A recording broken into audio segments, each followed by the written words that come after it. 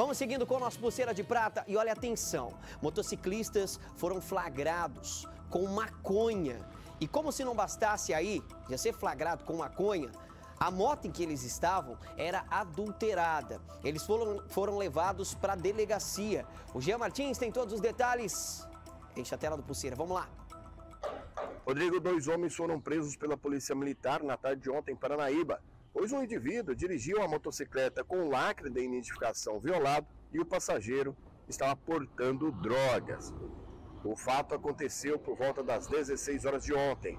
Uma equipe de força tática da Polícia Militar realizava patrulhamento no bairro Jardim das Paineiras e ao avistarem dois homens e uma motocicleta Honda Titan de cor azul trafegando pela via, sendo que os agentes perceberam que os suspeitos, ao avistarem a viatura policial, deram meia volta na motocicleta rapidamente, tentando evitar uma possível abordagem. Diante disso, a equipe aproximou-se dos indivíduos montados na moto, momento em que o passageiro, o homem de 45 anos, jogou um objeto no chão. Após uma pequena perseguição, foi possível ali a abordagem. Durante busca pessoal e veicular, não foi localizado nem nada de ilícito.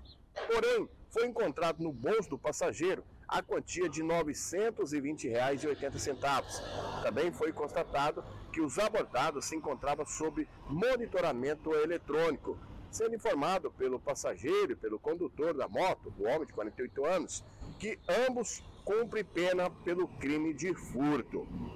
O homem de 45 anos não soube dizer a origem do dinheiro que estava consigo.